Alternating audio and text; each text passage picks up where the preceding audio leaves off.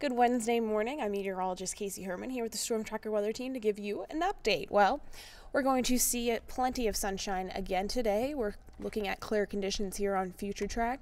A few clouds could see some high cirrus clouds.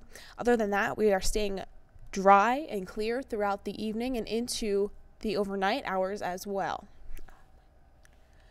As we take a look at today's highs, you're seeing temperatures in the 70s and 80s. A beautiful day in store, 77 in Lewistown, 79 in Havre, and 85 today in the capital city. Overnight lows we are seeing dropping into the 40s and 50s. We're seeing 58 in Glasgow, 49 in Cut Bank, and a 54 in Helena. So that low pressure system that was our last weather maker is moving out. High pressure is building here over the state today and tomorrow.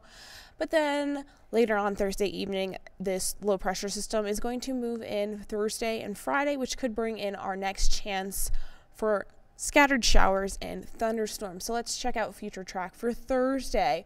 We are seeing here some clouds starting off our morning, moving in more clouds by the afternoon, starting to see some showers kick in as well. We're starting to see these showers and thunderstorms move from southeast to southwest to northeast, and then over Later on in the evening, we're seeing even more rain starting to pick up here, bigger swaths and becoming a little bit more widespread. Continuing into Thursday evening, we could see some remainder of some scattered showers and thunderstorms on Friday as well. Tomorrow's highs, you're seeing temperatures right around the same as today, a few degrees cooler in some areas. Mid 70s in both Helena and Great Falls. 85 in Glasgow, though, staying warm there, and 82 in Jordan. Now, Friday, we are cooling down a bit, back into the 60s for many areas.